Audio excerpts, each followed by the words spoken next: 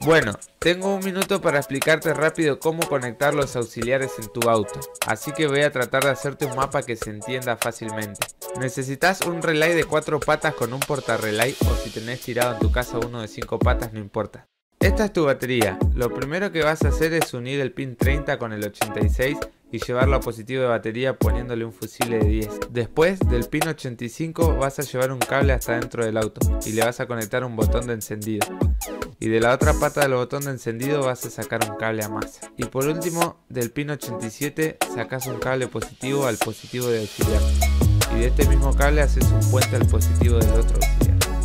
Y como todo foco además de positivo necesita masa para prender, le vas a poner masa al chasis o carrocería donde quieras.